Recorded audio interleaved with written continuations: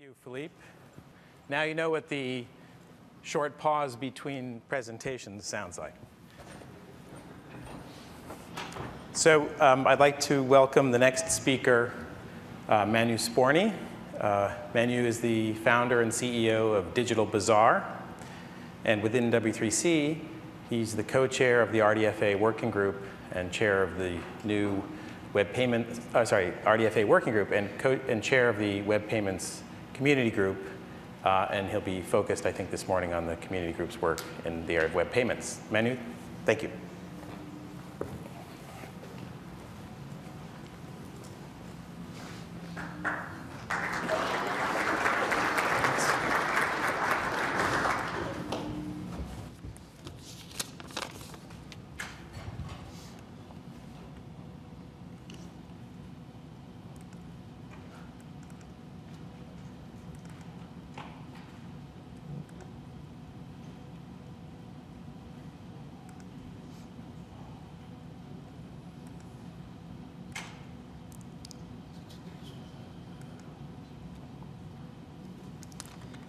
All right, so um, just a bit of a heads up there's going to be an audience participation uh, portion of this uh, slide deck, uh, probably towards uh, about the middle of it. So um, if you nod off during the uh, first part of the uh, slideshow, you may be in for a rude awakening because there's going to be lots and lots of yelling, hopefully halfway through. Um, so, um, this talk uh, is titled W3C Community Groups, but what it's really about is how to affect lasting global change in our world. Right? How do we take the technology that we use on an everyday basis and make a positive impact on the world with that technology?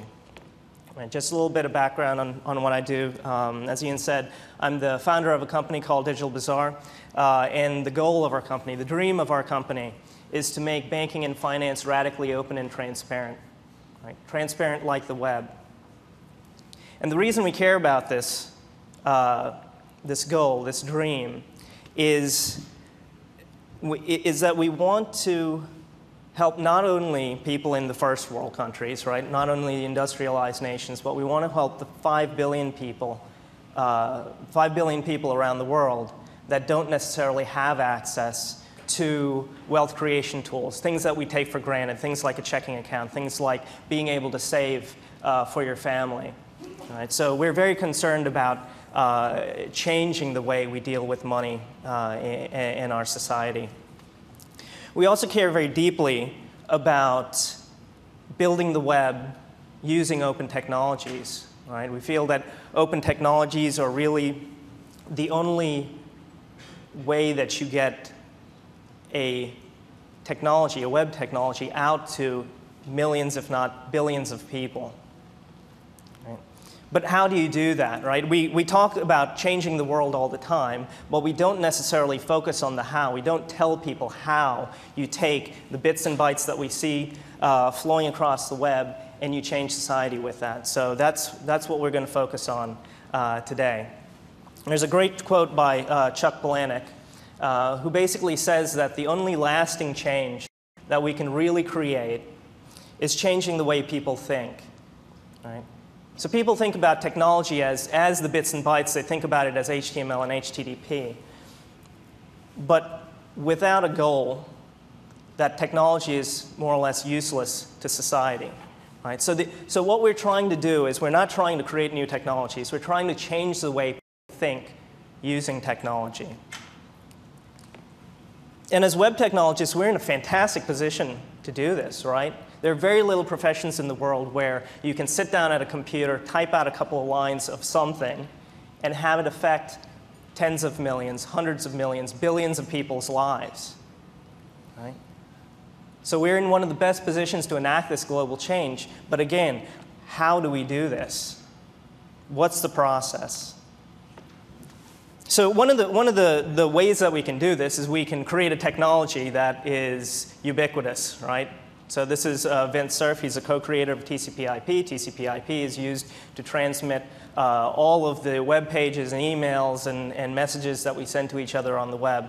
Um, so the answer could be, well, The how is you just create something that everybody is going to end up using.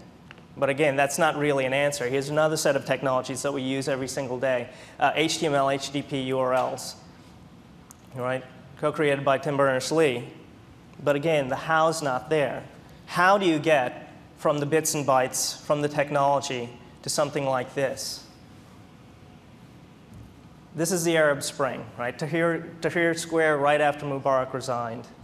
Right? You can see fireworks going off, people are in the streets. Um, a lot of this movement was organized through Facebook, through Twitter, through email. Right? There was a fair bit of it that was also done through phone, and of course, face to face meetings, things like that. But the web was a part of this. Occupy Wall Street is another one of these movements, right? It's a fairly fresh movement, and even more so, it spread very, very rapidly, very quickly because of the web, right? People are talking about Occupy Wall Street movements in blog posts, in emails, on Twitter, on Facebook. The web is, is helping people organize these movements and change society and change the world. Right? I don't mean to, I don't mean to, to, to insinuate that the Arab Spring or Occupy Wall Street happened because of the web. They would have happened regardless. Right? But the web certainly accelerated the change, made it happen much faster. Things that would have taken several years to organize now can be organized in a matter of uh, days, weeks, or months. Right? And ultimately, the web, the technology of the web, changed the way we organize ourselves. It fundamentally changed the way we think about organizing ourselves, on starting movements uh, to, to better society. But what's the spark, right? How do you get from people thinking about technology to positive global societal change? I think the answer to that question is fairly straightforward it's standards. But what an awful word, right? The term standard is misleading. It sounds boring. You can't really bring it up in a party or at a, at a party and have people think that you're talking about anything really interesting. But it is deeply interesting, isn't it? Standards are the way that we create social change in the world. They're deeply important social contracts. They are the culmination of what we believe our technology should do for society. And thus, they're vitally important in creating and operating uh, a, a blueprint for how society should operate. So, what does this process look like, right? So, we're talking about this thing that, that has this massive effect on society. What does the process look like? How, how is it created? Uh, how is the standard created? So, typically, what happens is you have someone that's working for a large organization, uh, and they come up with an idea, something that their organization needs to accomplish, and they approach the World Wide Web, Web Consortium or the Internet Engineering Task Force with the idea. Uh, and that group of companies decide whether or not they're going to back the work uh, and usually, if they decide to back the work, uh, a working group is created. Now, the W3C is really great about getting public input uh, into these working groups. So they work on these documents and, and um, refine them over time uh, with public input. Uh, there's a lot of arguing and politics involved, unfortunately. Uh, anytime that you have more than three people in a room, there's politics. Um, but usually uh, at the end of the process, you've got you know two or three years, and out pops a standard, right? So typically, this is the way that, that standards work has, has been done. And this should look pretty familiar to you. It's the standard, uh, the, the standards making model is basically the sausage factory model, right? You have, a, you have a kind of an idea of what goes into the standard. You don't really know what goes, in, goes on inside the factory, but uh, what pops out is something that most people enjoy. So there are problems with this sausage factory. One of them is that it's very corporation centric versus public centric. Right? If we're talking about things that are going to have a massive impact on society, we want to make sure that the public has a strong voice in the process. And like I said before, the W3C has been really great about getting public input uh, in on their standards. It's very difficult to get people to comment on, on how these technologies uh, should, be, should, should work for society. Right? But at its core, still, it's a corporate, someone at a corporation usually uh, pushing, pushing the idea. Not necessarily a, a bad thing either.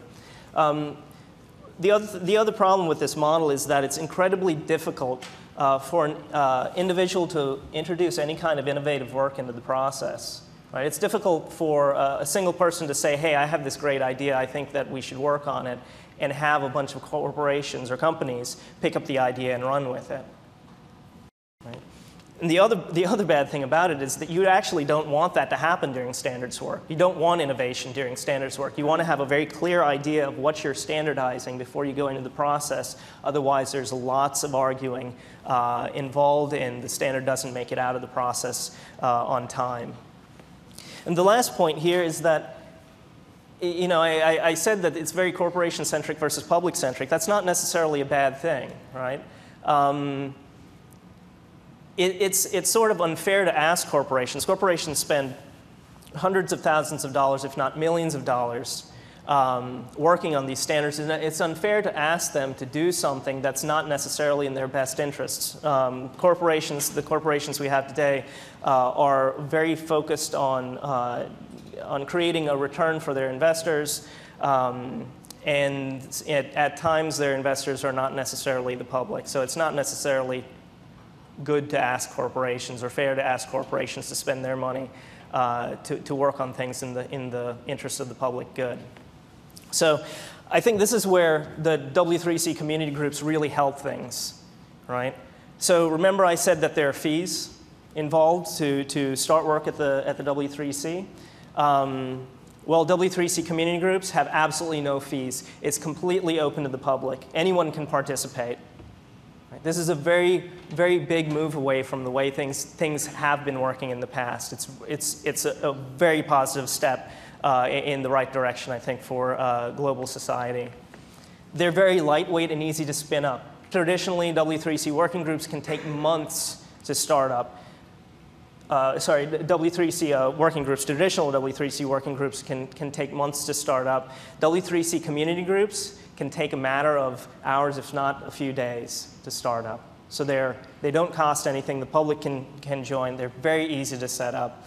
Um, and the other positive thing about W3C community groups is that there's no time limit. You have plenty of time to experiment, deploy, reiterate the design before you put it into the W3C process for standardization. And that's what, what that does is that it increases the probability of your success. It increases the likelihood of the standard success because you have time to work on it, to tinker on it until you're sure that this is what uh, is going to be good for society or, or, or good, for, good for what you're uh, trying to accomplish uh, on the web.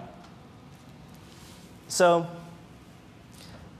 this, this, this graphic basically shows you what the typical W3C process looks like versus the community group process. In it, the, the typical W3C process is at the top. Usually what happens during standardization work is, you know, you've got a company or a bunch of people that want to create a standard. You create a bunch of working drafts, which is basically people writing down how the standard should work. Um, once you're done, you tell the public, hey, I think we're done. That's called a last call. Uh, and if you're lucky, you'll have only one last call. Uh, but typically, you'll have many last calls, so several last calls, because uh, usually the, the public is very good at picking out uh, problems with the specification. That requires you to go back through the process. And then you go to the candidate recommendation phase, which is uh, basically where you say, hey, we need implementations. We need two interoperable implementations for a, a web standard. Um, once you have those two implementations, you go to proposed rec, which is basically saying, okay, that's it. We're pretty sure we're done. Right? And then out pops the standard. Right? That's the official, official specification uh, from W3C. Now, the community group work is meant to replace a lot of the uncertainty in this process. You, you put the community group process first, you figure out what you're doing, and then you put it into the W3C process. So when you get it into the W3C process, it's a more regular, it's a, you, you understand uh, what the time frame is to getting the, getting the standard out. Um, the other really positive thing about this W3C community group process is that it can start from a public initiative right? It doesn't have to be a company starting it. Companies can start community groups if they want to, but the public can start their own community groups as well. So, so what are some of the benefits that you get uh, with joining the W3C community group? Um, there's a mailing list that you get. Every single uh, community groups get their, gets their own mailing list. You get a uh, wiki, you get an issue tracker, uh, you get a blog. These are all the tools that the regular standards uh, makers today use. The other thing that you get from this is you get archival forever. Right? For, for as long as the W3C exists, those mailing lists, those wikis, those issue trackers, uh, those blogs uh, are, are going to exist. And the great thing about that is that in 20 years, if you create a world changing technology, in 20 years, you can go back and see how it was created. Just like today, you can go 20 years back in time and see how the first version of HTTP or the first version of HTML or CSS was created. That has huge uh, positive implications for uh, society. Right? And the number one thing, I think, with the, with the W3C community groups, the benefit that you get is you attract people that are smarter than you. I know there, there are tons of incredibly smart people in this room right now, but what we have found by taking part in these groups is that you get a ton of other really amazing, talented people. These people kind of flock to W3C because that's where all the really cool technology uh, is being created uh, these days. And it's amazing to, to see somebody come into a group, find something that you hadn't thought about at all, propose a change, and get it into the, into, into the specification. Right? So attracting people that are smarter than you is vitally important if the, if the technology that you're creating is going to have a positive impact uh, on the world. Okay, so let's uh, shift gears a little bit. This is uh, the uh, audience participation phase. It's coming up just in, in a little bit. I love this guy. Um, this guy is uh, at the Occupy Wall Street uh, event um, in, in New York City, right? And the, the, the thing that I think, that Occupy Wall Street means a lot of different things to a lot of different people. There's no one, one thing that it means, right? But I think one of the things that uh, they're concerned about is the use of wealth in society, right?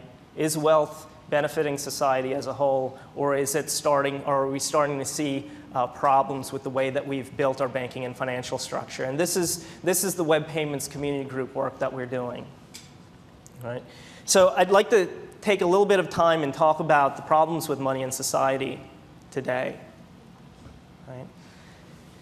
I think the number one problem with the way that we deal with finance in the world is that we do all of it behind closed doors. The protocol is closed, the network is closed.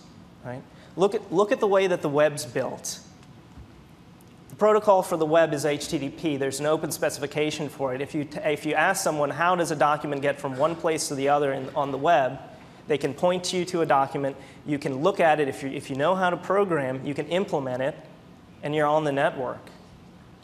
That's an incredibly powerful thing. Being able to look at a document and implement something and then be, become part of the network is incredibly powerful, and that's something that we absolutely do not have anywhere in the world today in our financial systems, right?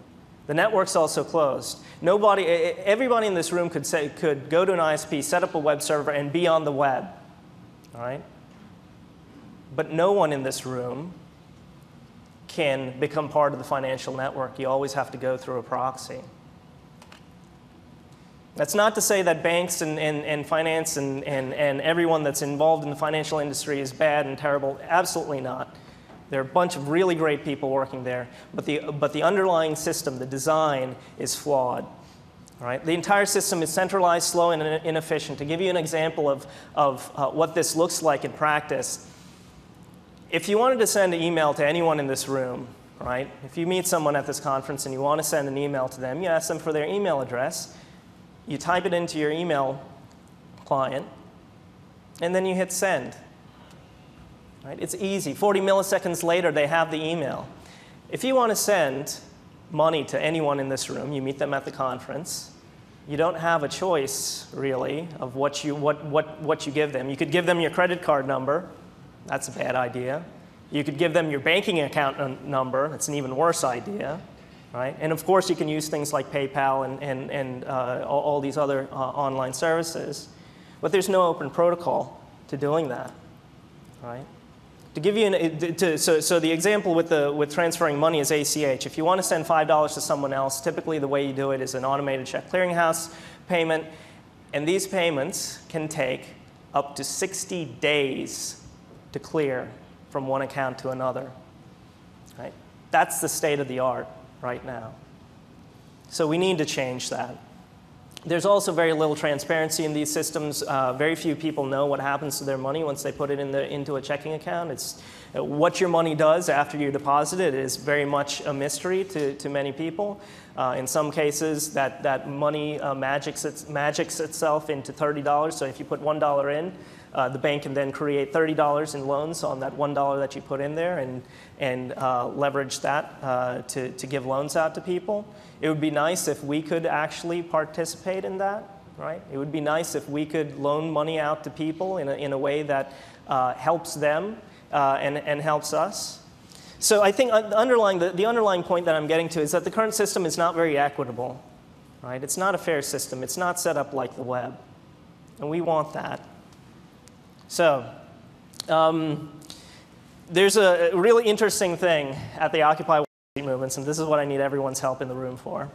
Um, they're called mic checks. It's called the human microphone. And one of the, one of the really neat things that, that happens at Occupy Wall Street's movements, at these things called General Assemblies, is that instead of using a powered device, instead of using a megaphone to get their message out, they just yell right? It's a very organic way of, of getting the message out. So typically what happens is you've got one person that's, that's, that wants to, uh, would like to speak, would like to propose something, and then the rest of the group just echoes that, right? So everyone can hear the proposal. So I'm going to propose what we do about this. I'm going to, I'm going to yell mic check three times. They're going to shut my mic off. So the only way that the entire room's going to hear is if you guys participate. They're going to shut my mic off. I'm going to yell mic check three times, and then I'm going to start saying three short words at a time. And if you could, please repeat, uh, repeat those words. Yell into the air, not into the, your neighbor's ear. All right, can we cut my mic?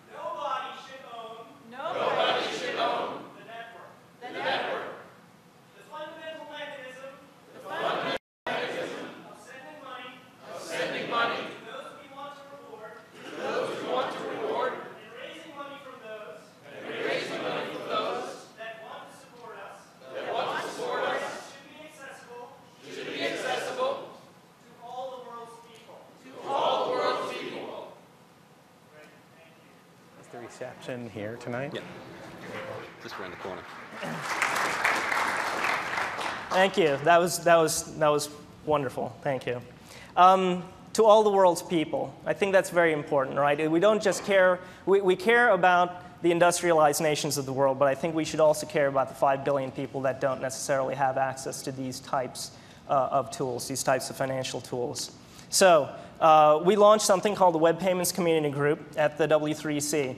We created a standard called the PaySwarm standard. It's a very simple web standard uh, for transferring money, buying and selling digital content, and crowdfunding projects. Think of it kind of like an, an, an open, uh, uh, an open Kickstarter or an open uh, PayPal or Google Payments or Amazon, Amazon Payments, right? The fundamental difference here is that all of the designs and specs are open. All of our meetings are public. Anyone in this room can join the meeting and tell us what they think and how they think that the spec should change. Um, we have public teleconferences. Anyone's invited to join those. We record them, all the audio's out on the web already, right? And so what we hope, what I hope that you're getting a picture here, picture here of is that we're trying to be as transparent as possible in, in creating this global financial uh, protocol. The system's decentralized by design. We don't want any gatekeepers. You, the, the second that you, you uh, cordon off a group of people and say, you're responsible for innovation, and everyone else is going to follow you, I think that's when we start to fail, right, as a society. We focus on speed. It should take 60 milliseconds for you to be able to support the person that you want, not 60 days. We care about data portability. If every single one of your transactions, all of your money, everything about your financial history can be taken from who you're banking with today to someone else the next day, I think you're going to be treated much more fairly as a customer. Right? And ultimately, what we're trying to do is create this fair and equitable system for society, an open, transparent system uh, for, for doing these types of uh, payments. Um, so how long did it take us to start the community group up? The startup time frame was actually pretty quick. Um, we identified the core of what we were trying to do. Right? This actually took us six years to do. Right? This took a long time to figure out exactly what you were going to do, what you're going to do to, to try and affect positive change. But once we had it, once we knew what we were going to do, starting the community group happened uh, within a week. Right? We created a W3C community group account. Anyone can sign up for one. It's free. Um, we proposed the group. You don't have to talk to anyone to do that. You just kind of type in a one paragraph description of what you want to do uh, in, in the, uh, in, on the W3C community group site. And then within five days, we had 20 people, right? And we started work. Now, 20 people might not sound like a lot, but if you, if you look at a lot of the W3C community groups, they have, you know, like five, six, 10 people working on these world standards. Right? So the, the, the, the amount of people that actually take part in standards making is not as much as you would, you would like it to be. Right? We want the public to be involved. It's just very difficult to get them involved. And I think that W3C community groups is going to change that in a very big way. So what's the current standard? We ha actually have a working implementation of this PaySwarm specification. There's a demo site there that you could go to and check it out. Um, all of the specs are, are open. There's a REST-based API. It's built on the web. Um, and we're also working with a variety of other W3C working groups. This, is, this is one of the great things. This is, this is you, you, you get really smart people uh, into your group by just participating, right? So we're working with the RDFA working group. We've actually launched a couple of other initiatives because we found that the technology that we needed didn't necessarily exist. So we're off, uh, there are several other people that are off kind of creating those technologies in parallel, right?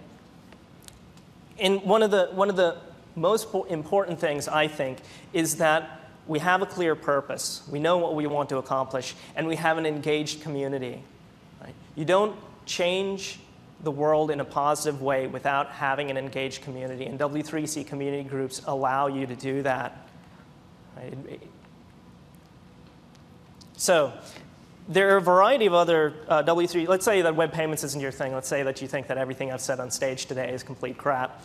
Um, there are other W3C community groups that are really interesting uh, as well, right? So there's this uh, group called the Do Not Track Community Group. They believe that you should be able to tell websites whether, you not, whether or not you want to be tracked or not. And they want to give you technology to, to, to empower you uh, to say whether or not you, you want to be uh, uh, tracked. It's a community group. The Games Community Group. Right? Very, very interested in HTML5 and, and Canvas and WebGL and audio. They want to create a first-class gaming environment in the browser. Um, there's the oil, gas, and chemicals business group. Right? So there's, there's another uh, tier of groups called the business groups that are kind of like community groups. And these guys are focused on exchanging data on where the world supply of energy is um, so they can kind of keep society uh, operating. There's a web education community group. The web education community group cares about uh, developer outreach, teaching people how to use standards, uh, basically helping people build the web in the right way, right? May, being open about it. Um, there are 30, when I made this slide, there were only 30 plus groups. Now there are 40 plus groups, right? This was only a couple of days ago. So in the past two months, or since, since community groups launched, there are now 40 plus groups in operation. That's huge. I think that's, that's a success in, in, in and of itself, and, and I hope that they continue to grow uh, over the uh, next uh, couple of years. I think it's a great uh, public resource. Right? So ultimately, what I'm trying to, to get at here is that you now have a very powerful voice at the W3C and you have absolutely nobody standing in your way, if you have a great idea for a technology or if you have a part of the web that you don't feel is working uh, in the way that you want it to, in the, in the right way, right? Take that great idea, find five people, and start a community group, right? And help make the web a better place uh, for everybody. So I wanted to leave a, a, decent bit of time for, for questions. Um, so if you have any questions, comments, or thoughts on any of this stuff, the W3C community group stuff, uh, please walk up to the microphone uh, and ask. Uh, I'm on Twitter. I talk about this stuff quite a bit. Uh, the link to the W3C community groups uh, is, is uh, down there at the bottom, w3.org slash community. Uh, and the link to the PaySwarm group, the way we're doing the web payments work, uh, is down there at the bottom of the page. Um, so with that, are there any uh, questions, comments, or, or, thoughts on any of this stuff?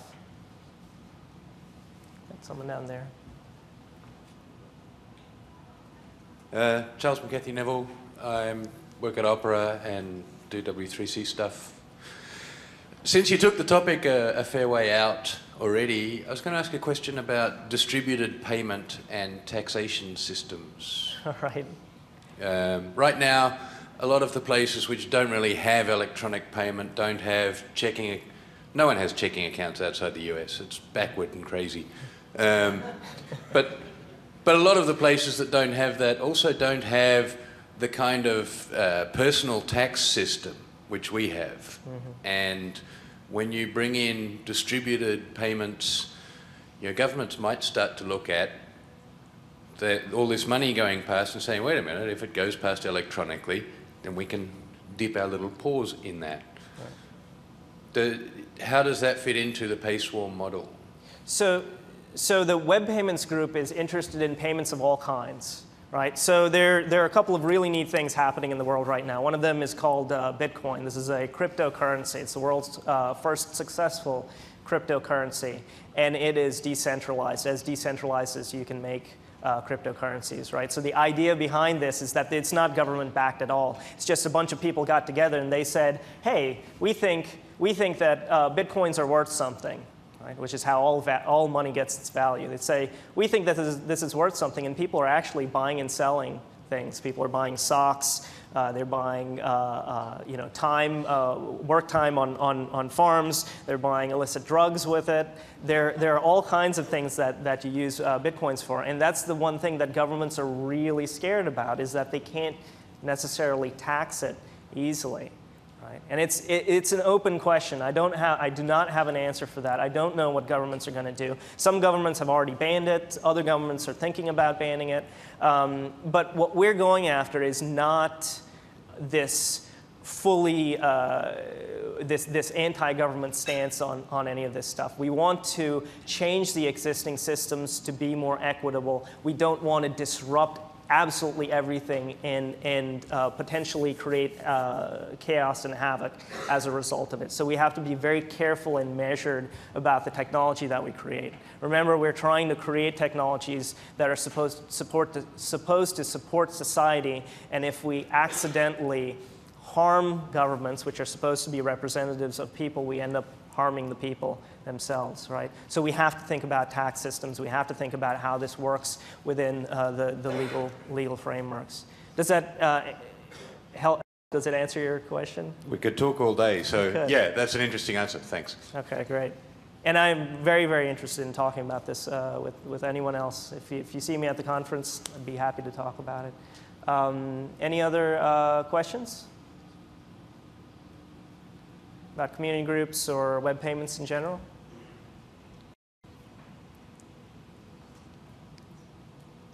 All right, great. Thank you very much.